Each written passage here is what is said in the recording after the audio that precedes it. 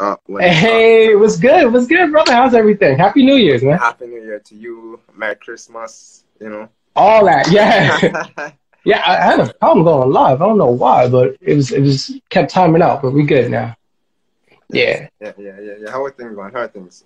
Life, life is good, man. I can't complain, man. I'm ready to talk about this topic about inner child, man. It's something that you hear a lot, yeah. where people don't really like one get it. If you haven't experienced any trauma, or not even trauma, but if you just haven't experienced like the inner child, um, like work, right? You know, uh, unfortunately, some of us have experienced um, trauma as a kid. Mm-hmm. And then, you know, that, that affects us once we grow up. Tony, how's everything, man? Happy New Year. I'm good. Happy New Year to you guys. Good, good, good, good. Um, actually, before we even get into to the, the to the main topic, everybody introduce yourself. Go ahead. Uh, I, I, Tony, you want to go first? Go I, I can't. Uh, Tony, say it again. You want me to go first? Yeah, that's fine. Yeah. That's fine. Yeah, that's fine. Okay, I'm Tony Thompson. Um, I, I live in live in the UK, and um, I work on the buses, but I'm also uh, a budding author. So yeah, that's me in a nutshell. nice, nice, nice. Yeah, hello everyone. My name is uh. Um, in the Caribbean, specifically Cayman, um, and I and I am a therapist. you know, and I'm happy to be on this wonderful live with you guys. You know, good way to start the new year.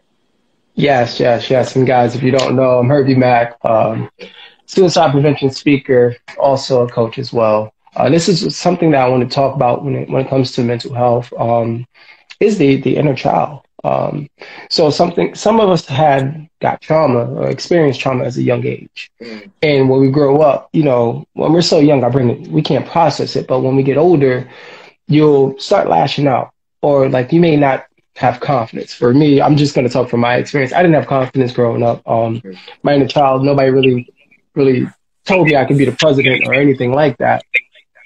So with that, it was just something that um, I had to learn, you know, as an adult. I started reacting and then obviously um, had suicidal ideations, attempt, uh, functional alcoholic. And then once I started journaling, I started realizing that most of the trauma that I personally experienced came from my childhood. Mm-hmm. And I had to do the inner child work, you know, as far as, um, as far as like talking to myself, I have a picture of my, myself in my office as a kid I talk to that kid every day, tell him he's loved, he's smart, um, and do the inner child work as well, right? Like, you know, yes, I do journaling, but I also do coloring, uh, play basketball when I can, and try to do things that to prove to myself like I am worthy, and it helps out so much. Mm-hmm. So, Cottrell, if you want to touch on it, please do. Yeah, yeah, yeah. Um, and I think it's interesting because I feel like we all, uh, we all do have our inner child. We still we still connect on right? We won't say outwardly, but we still connect her in a child. And even, even if it's like recalling memories of, oh, when I was a child and this and that, it really helps you to to to reflect on uh, where you have been, um, especially when it comes to trauma and where you have progressed. You know, it also indicates like you know whether there is any progression. Um, and sometimes you know you mentioned the trauma in the inner child. Sometimes like the the like we are unable to deal with the trauma and that inner child tends to just display itself like on a daily basis. And then sometimes we see that immaturity coming. So i feel like we need to have a balance between uh that inner child you know access, accessing it when we need to. Um you mentioned even talking to yourself like coloring writing, you know, I feel like we can have a balance with that, you know, over a period of time. Yes. What about you, Tony? How do you feel about inner child? Yeah, um, I didn't start becoming aware of the inner child until, to be honest, uh, until I started talking to you, Herbie, and and and you, Cottrell, and basically, even though I realised that there was something within me um, like I suppose juvenile that would react to certain situations and people in a certain way. And Uh, for example, when uh, I, I'm told something or um, someone's quite uh, cross with me or angry with me, I tend to react in a certain way, and I realise that I, am reacting in a certain way, particularly like I'm very oversensitive, and um, I realise that that oversensitivity has come from when I was about like you know about 14, where I took a lot of things personal, and so I tend to react to certain things um, in a fr- from a 14 year old perspective. If I'm, I don't know if I'm making sense, but um, so that inner child in me has still hasn't grown up, and um, I don't know if we should expect that inner child to grow up because, but I need to interact with that inner child to say to that inner child, well, there's no need to take that so personal. So I don't know if I'm making sense, mm-hmm. really. Mm-hmm. Mm-hmm.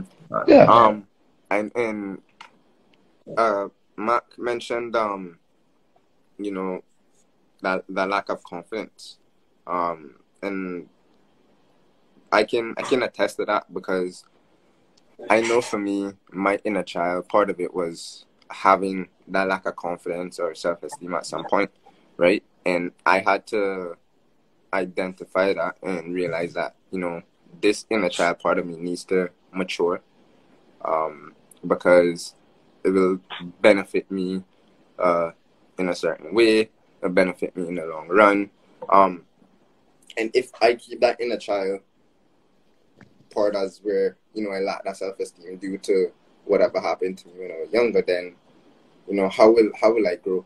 You know what what, what part of me what part of that confidence will impact me in the future when it comes to like jobs, you know, relationships, friendships? Like, it, it will have a, a, a, impact on you if you know certain areas, as I said, of your inner child um, are matured. At the same time, I believe, for example, that that inner child that you have tend to come out sometimes when you're around friends or you know when you're playing games like just just some of those aspects um, but in terms of, you know, even trauma, it can be, it can be heavy.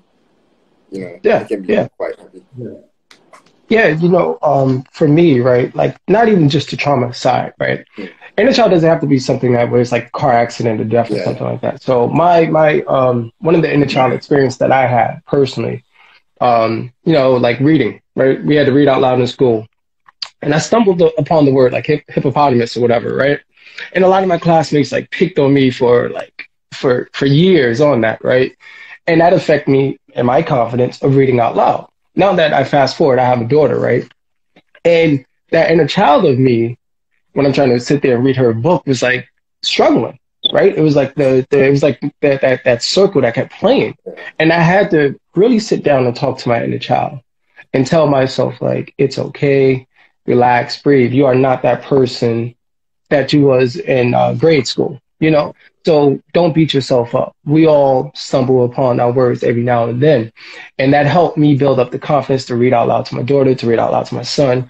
And it, it was something that took, it took work, right? It, it took work to, to get comfortable talking out loud and, and not talking, but reading out loud to them without having that scene replay in my mind again. Mm-hmm. And, and it, it took me probably, I don't know, probably like four or five months to really get used to it. It's something that I had to address. And I just kept slowly working on it, slowly working on it, slowly working on it. So, so that's, that's something that um, I want to chime in. And then how I worked on it was just like apologizing to myself, right? And just telling myself it's okay. We all mess up. It's fine. Don't be too hard on yourself.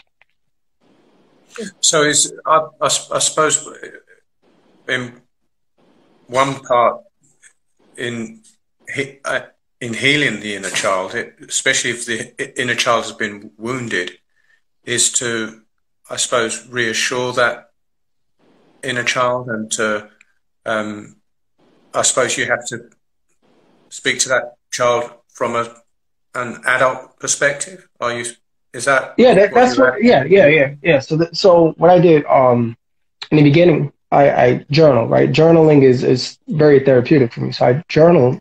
and then I realized that like the scene, what happened, and then I wrote a letter to that kid, and I read it out loud to him, so he can understand. Like it's fine, it's okay. It's something like that. That simple. That that made life so much easier, right? Especially writing a letter to your to your childhood self. You understand as a as an adult, you know, your brain is is you know you're you're you're adult now, so you understand like okay, it's not that bad. Like we stumble, and I just had to apologize to myself, and the inner child in me cried. You know, I'm not. I can gladly say it on the live, and it's something that helped me heal. You know, now I read these books out loud to my daughter at will with no problem. Yeah, yeah. Um, I suppose because the most traumatic time for me was when I was 14, um, because that's when I left the residential home, um, the children's home. So uh, there a, a lot happened emotionally um,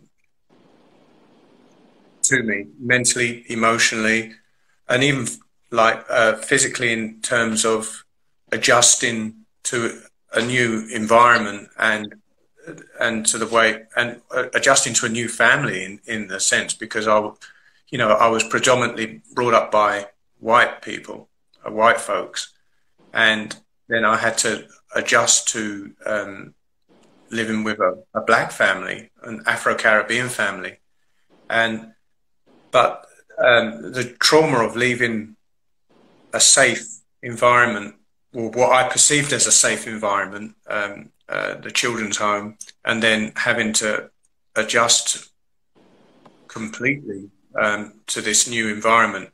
It was all very emotional for me, and uh, even my stepfather, even though we we didn't have a good relationship, he, he he got concerned because every night when I would go to sleep, I would rock myself to sleep. I would put my, you know, hands over my ears, my arms like that, and I would just rock myself to sleep. And it got to the point where he would, um, he, you know, he, he thought that something was really drastically wrong with me. I, it took me quite a few years to get out of rocking myself to sleep, and um, I, so how would I sort of talk to that 14 year old boy in terms of um, reassuring? Because I, I realize that a lot of my emotional disposition now, if that's the right word, um, relates a lot back to when I left the children's home. So I don't know how you guys would, um, how would you tackle that? How would you? Cottrell, you uh, want to touch on this? Yeah. if not, no, I can chime in if you want, but I, I want I, I want to give you a chance to talk. Yeah, yeah, yeah. Um, for sure. I, I think one of the things is definitely accepting that it happened, right? It, it doesn't make sense to to dwell on on this and keep ruminating on it, right? I think one of the things is to accept it. You know that the past happened, right? This happened to me when uh, when I was a a child or when I was a teen, right? and then you identify that you accept it and i was like what can i do to uh to move forward what can i do to to overcome uh, um this this inner child that you know used to rock and you know the feeling of abandonment right and i think it's definitely to to do with um or one of the things um to do is after the acceptance is definitely just you know as uh, Mack said you know you know, journaling, you know, uh, acceptance, you know, deep breathing. Because when you reflect on it, it might it might stir up some some uneasy feeling, right? Right? Or even reflecting, um, and because one of the things you've did you've done there is is you've been notified that all right, this has happened to me, right? When I was a child, right? Or a teen, I should say, right? That when I was 14, right? Now I'm an older person, all right? You know, I want to move forward, right? I want to be okay with myself knowing that this inner child has been put to the side, right? And I want to mature in that area because you even uh, mentioned like the em- emotional disposition, right? right? So even not regulating the emotion, the emotional aspect of it, um, in certain situations, you know. So as you said, if you could identify a certain situation where you remember it, it kind of triggered that inner childhood uh, feeling and you reacted similarly to how you reacted when you were 14 right mm-hmm. then in that moment you'll be like ah right and then you just stop and pause and then that's when you're like you know logic over emotions basically yeah right yeah logic over emotions like can, is it appropriate for me to, to act like this what can i do when when this situation come up again and I react to it? How do I react positively um, to this? What can I do to react positively to this? You know, and even challenging your thoughts. You know, I feel like we are afraid of challenging our thoughts, right? And I think one of the yeah. things is definitely challenging your inner child. You know, sometimes it fights us, um, but we need to to to to challenge it not fight it, yeah. not argue with it, but just put a challenge to it. You know, which can help us to to push past that that stage that or that that for example situation that may come up and how we react to it on an emotional yeah. I don't know if what I said made sense. Oh yeah, it does. Yeah, it does. Yeah. Um, I, I, I, I, suppose there's another question. Is I suppose there's there's certain stages in your childhood, like um, that um, trigger certain things. I, I presume. Mm-hmm. Um, yeah. Uh, like there's a there's a picture of me when I was about four or five with my foster mother. It's a black and white picture, and it's basically it's, a really sad picture. I don't um, look there because I I was I was meant to be adopted by my grandmother in Jamaica, but it didn't work out. So my um, foster mother took all these pictures because she was obviously feeling very emotional and sad. And when I look at that picture, it just triggers a lot of um, sadness and emotion. Not not that I was aware of it at that time, and um, it, in in it, in reflection to when Herbie, when you first challenged me about talking to the inner child, and it was a, I think it was about a month ago. You said, yeah, you know, have you you you spoken to the inner child? And when you said that to me, I became so emotional. I, I just I couldn't face it. I just I felt so because it's normal, man. Emotions just came over, and I just and and you didn't obviously you didn't continue to probe me because I think I, I think you felt that I yeah. was finding it really really difficult, really hard, and that's when I sort of even though I've heard of the inner child before and heard of the the inner child within the person within a person, but I, I wasn't aware of what um, the, who the inner child was and and what the inner child um, what what it meant in terms of talking to that inner child and I didn't realize it was going to um, manifest so much emotion and so much um, you know no, it, it's fine you know for for myself um, you know I I lost I lost a cousin who I looked up to at a young age, right? Uh, like 11, 12. Uh, my mom and I was like the last ones to see him alive, right? And unfortunately, like I had to identify his body because my mom wasn't available. So that was like for me, I thought I was like stepping up being the man in the house, but that was some trauma, right? And then like three years later, I lost a sister to cancer. So it was a lot of like unfortunately death in my family. So a lot of my my, my parents, they, you know, that's trauma, man. They was depressed and they was trying their best. So what I had to do was honestly look at the whole situation. You know, for me, when you're a kid, you don't realize like, you know, adults have feelings too. You just, you know, you pretty much focus on yourself. But I, I started writing and I took a step back and I realized the whole situation. and I forgave my parents for that, right? And once I was Yeah. able to forgive them, then I was able to channel in and focus on the inner child that needed that love and that affection and build up the self esteem. Um, you know, I talk about writing so much because when you write, you s- start seeing your behaviors and then you also start seeing your thoughts and then you start understanding your feelings. So that helped me balance everything out, right? Okay, the reason why I'm behaving, I'm drinking all this Hennessy is because of this trauma. The reason why I'm thinking negative in my thoughts is because of look, look what I'm doing. I'm not putting myself in that position to win. I'm putting myself in that position to fail. You know, I'm just using drinking as a coping method. I'm not really channeling in that inner child. And, and as Cottrell said, challenging him. At some point, you have to, right? But not beating yourself up at the same time.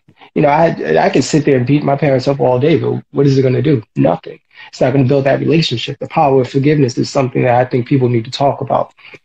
But me forgiving them was was easy for for me to forgive myself afterwards. Because when you're a kid, you can't control that situation. You're a child, so never beat yourself up for that. And then once I started writing, you know, back to writing, I was able to break things down. Okay, these are the areas I need to work on. These are the areas that I have to improve on. Now, is it going to happen overnight? Hell no. but but it will happen over time if I slowly address it. Right. That's why I tell everybody have have different tools for coping. Right. Like do, when I look at that inner child, do I want to cry sometimes? Yeah, it's natural. It's natural to sit in that feeling and that emotion. But when it gets too heavy for me, I do this thing that's called release writing right? I'll write all that emotion out, but it probably looks like gibberish. Either I'm going to tear it up afterwards, or I'm going to burn it and just release that emotion. Yeah. Mm. Okay. Um, and like I have a question. Um, when when do you realize that? All right. Uh, I need to.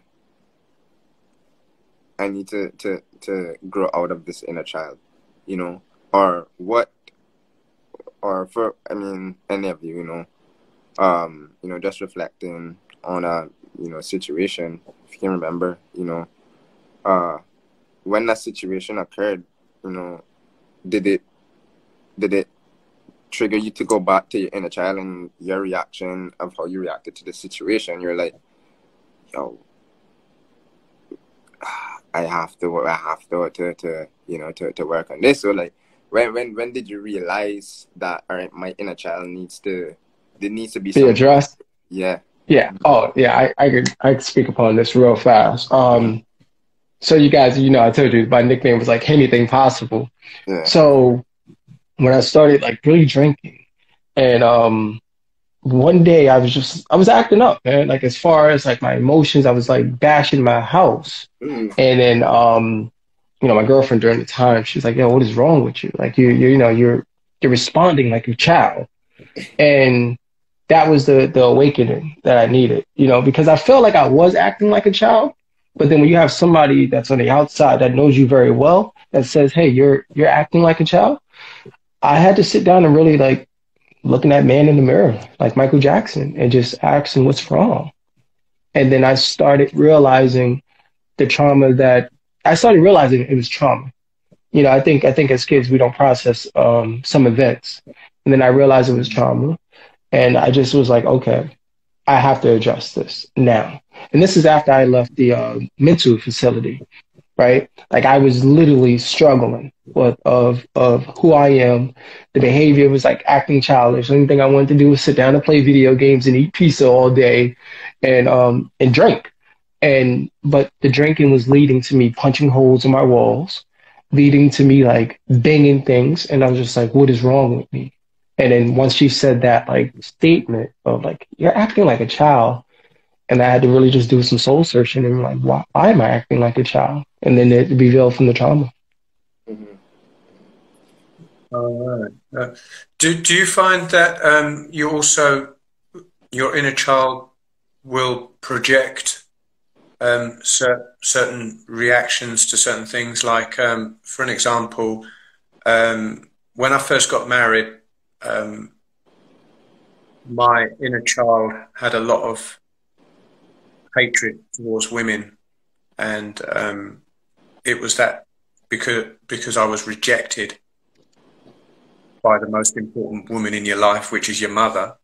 and I found that I was projecting a lot of that hatred towards my wife when, particularly in the first year, and she said that it was. She said she said sometimes she would look into my eyes and she could just see such hatred. Um, but I wasn't hating her, but it it it, it was, was just an experience from from the woman that you love the most, your mom. Yeah, and yeah. Um, and because being rejected by your mother, you know, you you I was rejecting my wife psychologically and emotionally. It was it was it was a real paradoxical um, experience. It was just my, um, my wife said sometimes she just couldn't be in the same room as me because she she said it was just really um, hard to um, hard. It was hard for her to like perceive and and uh, and and experience, I suppose, in a way, you know. So is yeah. So the question is, we, I, I suppose, a, a, lot of the things that we've experienced as a child, we tend to project, project to to project. Is is that is that the case? You know to me, every, everybody's different. Um, so, so my, my projecting was, um, my projecting, I, I didn't necessarily had projecting of like, you know, hate. I just had, um, just some issues that I just had to like deal with. Um, but if Cottrell, if you wanted to touch in, you, you could definitely touch in. Um, but yeah, for me, I, I, I didn't really have like too much hate right? Like it was just one of the things about like the boundaries, right? Like my, my parents and I didn't have the best relationship and I was cool with that. So it was just something that I was just like, yo, it is what it is. I'm not going to hate him for it. It just is what it is because I don't, I don't have the energy to just hold on to hate. You know what I mean? It's draining. Like it, it is. I just leave it when it's at. And if it was meant to be, it's meant to be now. Like we fast forward years later, this is the best relationship I have with my parents because I addressed them right? I had to sit down and look at them in the face and say, because of you, I attempted suicide multiple times. And that led to something else. Um, but yeah, I didn't really necessarily have that. What about Cottrell? Would you like to chime in? Yeah, yeah, yeah. Um, I, I think a lot of the times uh, when it comes to when it even comes to um, like the trauma of being a child, you know, I think a lot of the time self blame comes in. Right? We blame ourselves for for um for what happened to us. And as you mentioned, like a lot of it was out of our control when we were younger, right? And then we grew up just continuously blaming ourselves and be like, yo, this is my fault and and this and that. But you have to connect with that inner child and just be like, it wasn't your fault. You know, thinking back about it, thinking back about it, you know. Yeah you know, what aspect of it was your fault? You know, what could you have control when you were a child? What you couldn't have control when you were a child, right? Yeah. And I think a lot of times, um, you know, that that's what happened where, where a lot of people are we tend to hold on to that, to that inner child aspect and self blame, self blame, self blame, and then when we get older and we exhibit in exhibit such behaviors in various in various areas, we're like, yeah, it's my fault why this happened. Yeah, it's my fault, and we just we just blame ourselves, and then we then we act out what we experience. You know, we project it. But I think one of the things is accept that it wasn't all to do with you. You know. Um, yeah. yeah. And I think that's definitely one of the things uh, we we we miss out on or we don't highlight. Yes. That, you know. Can, I chime in on that? Because it's yeah, yeah, yeah. Because yeah. when we think of when we think of like the the trauma as a child, mm-hmm. right? Now that we're adults, you sit there and you're like, man, I should have did this. Man, I wish they would have talked to me like that. And it's because you're an adult, so now you know you you know how to con- control your emotions and how to speak up. But as a as a child, you don't know how to speak up. You're still like trying to figure out life, you know. So so when I go back to that inner child, that's why I tell you, like, apologize to him. Don't beat yourself up. You you're a kid. To put all that pressure on a 14 year old kid is something that that you shouldn't do. You know, at 14, you're just probably just really trying to understand who you are, let alone like, you know, the whole high school thing. So don't beat yourself up for that situation, right? If you, even though you feel like the world didn't love you or, or this person didn't love you, just make sure that you love yourself first and foremost, right? Go back to that inner child that's 14 and say, no, I love you. F everybody else. I love you the most. And, and keep it like that. You know what I mean? Because at the end of the day, if you don't love yourself, how can you love someone else? Mm-hmm. Yeah, yeah, yeah, yeah. That's, that's yeah, yeah, that's true. That's true. Because uh, um, I, I, am trying not to center everything on on myself, but um, because um, I have such a lot of questions in regards to the inner child. Um, so, so, hopefully, Herbie and Cottrell, you can help me on this. The biggest thing that I fear and I don't I I don't like and I I, I really um, find really hard to handle is rejection, and I mm-hmm. and um, that I suppose that rejection is synonymous with also um, taking things so personal because I think oh that person doesn't like me that person doesn't um, and and I, f- I found that that rejection came from what and, and I and I know this is very deep, but apparently the re- rejection a, a baby can feel rejection in the womb if the mother does not want the child. That um, the the baby can actually feel that rejection, and I know that's maybe a controversial thing to say, but it, it's just.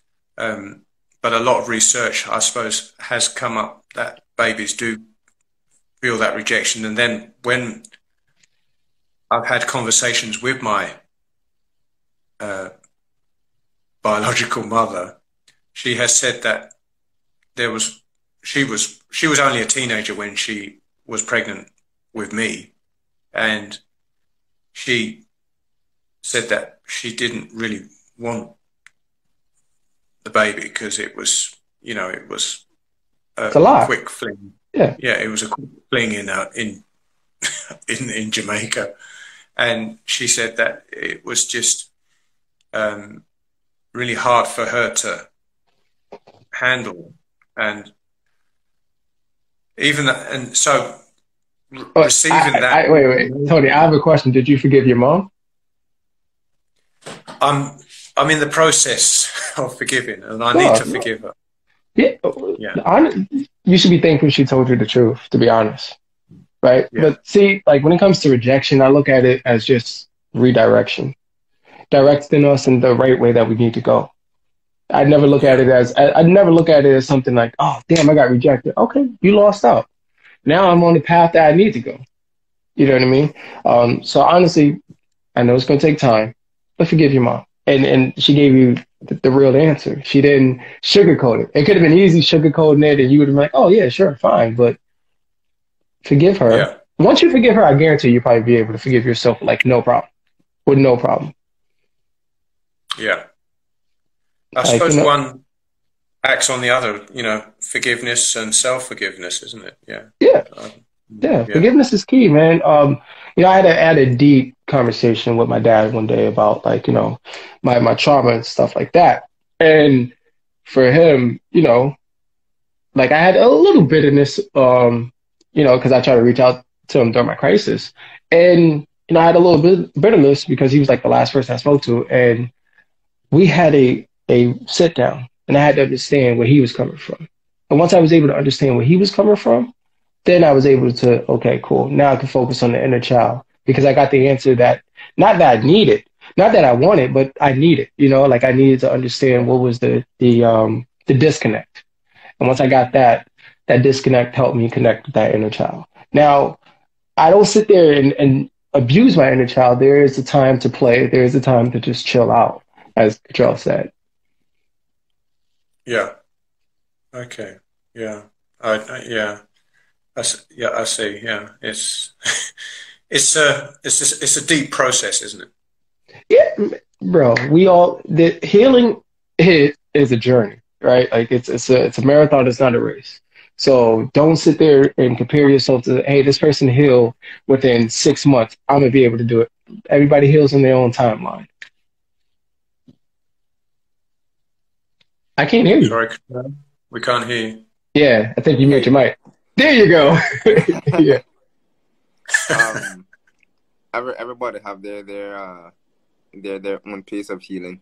Um, everybody has their their own journey, and I think once you make up your mind, right, to to access that aspect of forgiveness, as, um, access that aspect of, of healing, right? Once you make up your mind, it, it's going to be so much easier to accomplish, right? because you have, for example, you have, you know, for example, me, just for an example, would probably say, yeah, I want to heal. Okay, what do I want to heal? What do I want to heal from? Um, what am I going to do to uh, achieve that? You know, um, sometime, uh, sometimes some some people might feel like, oh, the healing is just uh, just me doing this and doing that. It, it's just taking in that entire your entire world, right? And just looking at it, your inner child, your adulthood right now, um, and just be like, okay, do I wanna? What do I want to heal? These thoughts, these feelings, right? These actions, right? Whatever impacted me as a as a uh, when I was a child, I want to heal that aspect. You know, that it doesn't make sense to say you're going to do it and don't do it, and then you fall. And mind you, mind you, laps will occur where you're on the journey and you're like, this hard, boy, and you just go back in your ways. But it's always important to to note that, you know, it's not going to be perfect. It's not going to be all roses. You know, you're gonna have a lot of bumps to to to healing. I mean, that's why, um, I believe like just taking in certain things, doing certain things can can help with identifying certain things, you know, acknowledging, even even having support some of your friends, you know, yeah, them like, Yo, I, I try and take the words right out of my mouth. Yeah, you know, that's important, um, right? Um, you know, have them uh call you when you're falling off, you know, because then you'd be like, yeah, yeah, yeah, you know, like. So I think like those aspects are important for that as well. Yeah.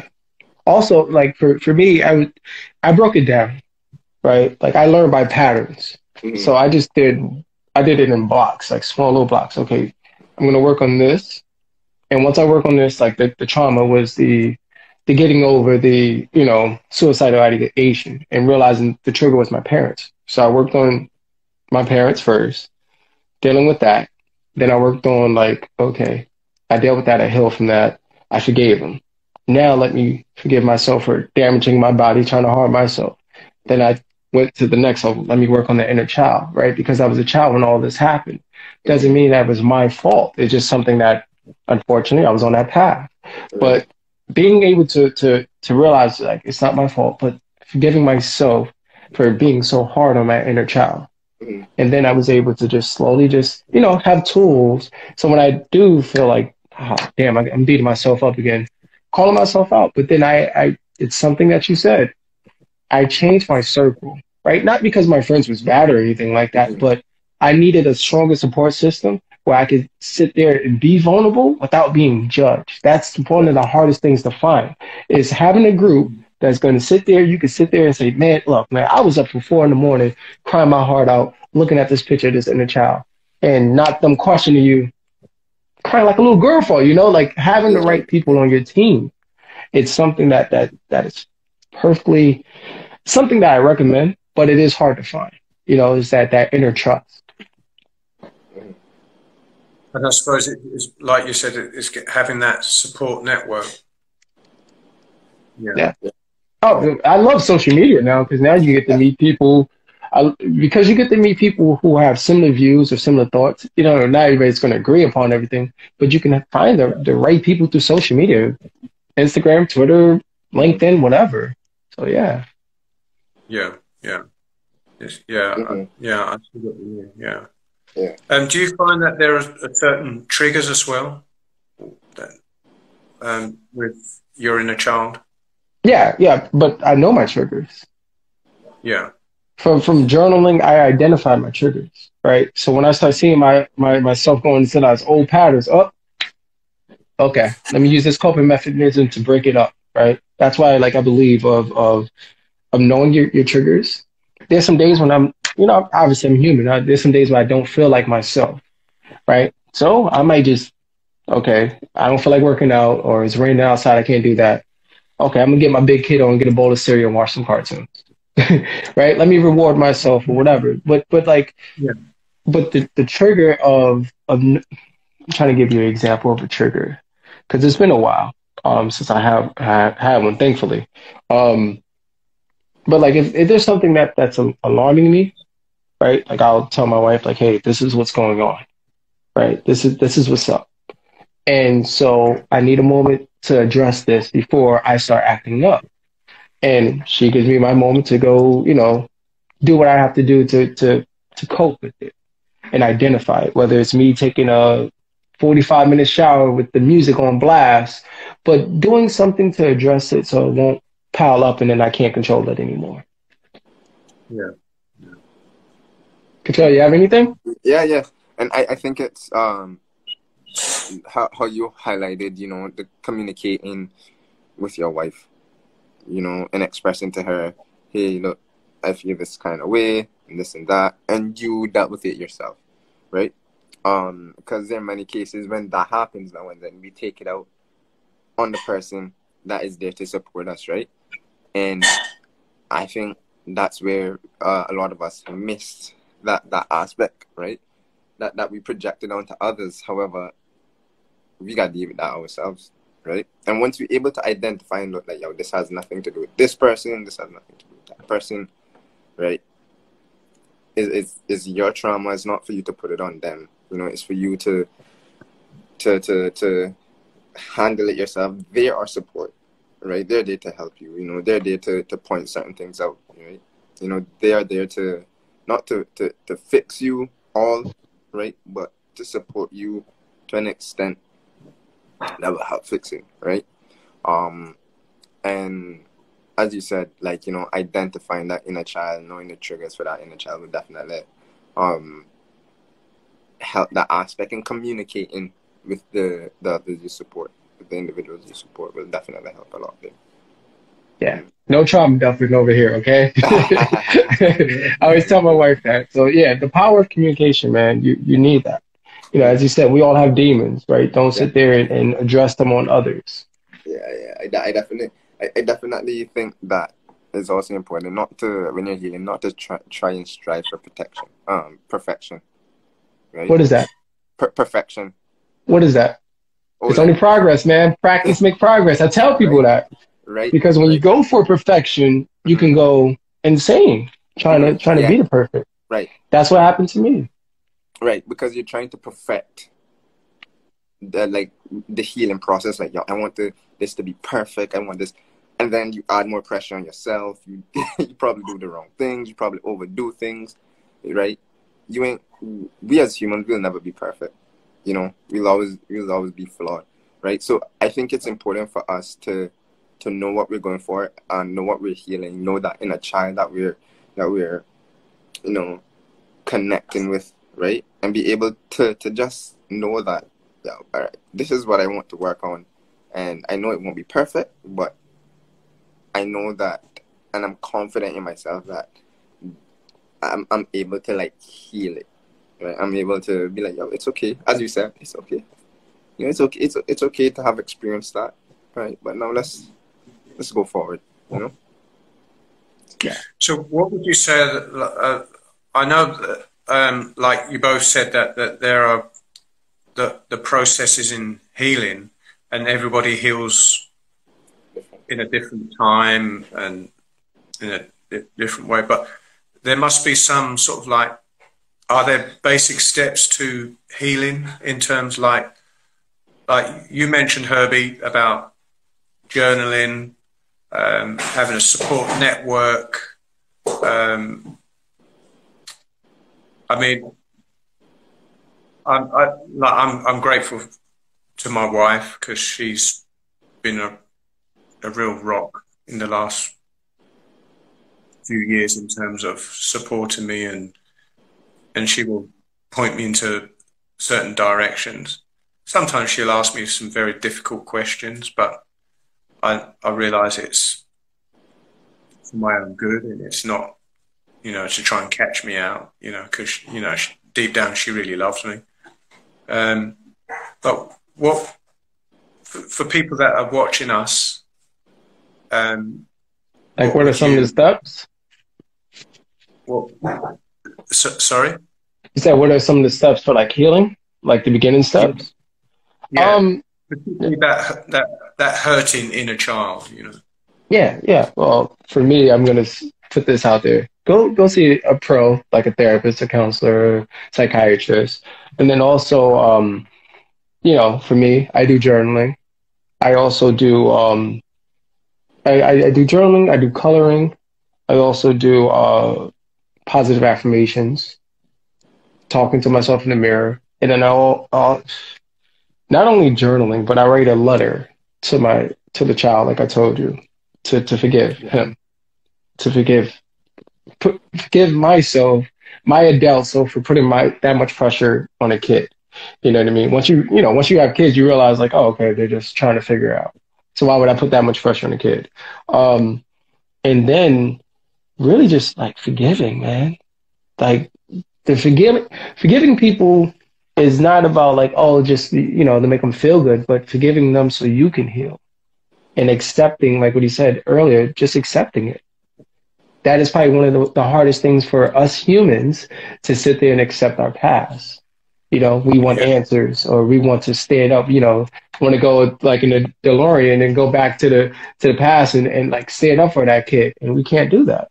So just accept it. Because if it wasn't for that trauma, you would not be the person that you are today. Right? That that's what that's what I learned from it. I learned from that and and kept pushing. You know what? Let me tell my story. Let me sit there and tell people that I've been a, uh, a you know multiple time suicide survivor not because I want to sit here and gloat and, and no, there's probably somebody out there that's at that level of thinking about it where I can assist. Hey, yo, this life better than that, you know? So that, that's what I have to say on that. Yeah. I, I, and I think one of the key things that you, you keep, you, that you, you, you, you are reiterating is forgiveness. Mm-hmm. Um, forgiveness seems to be a, a, a, real key component to what what both of you are saying. You know. Mm-hmm. yeah, because forgiveness isn't easy. Um, no. You know, it takes a, a, lot of uh, uh, uprooting and acceptance to, to to forgive, especially when it's you know a lot.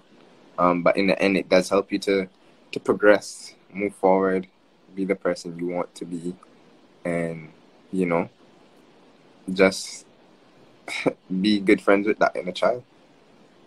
You know, and that's what I uh, yeah. and that's why I, um, I think forgiveness is is definitely important.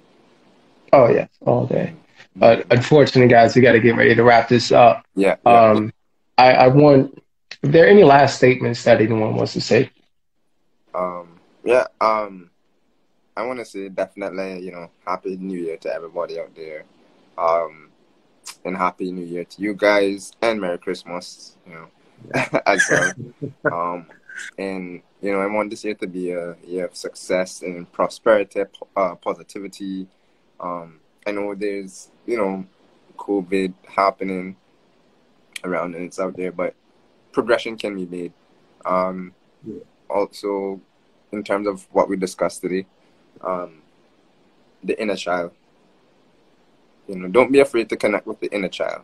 We might be afraid to, but don't be afraid to. Forgiveness is key and definitely moving forward.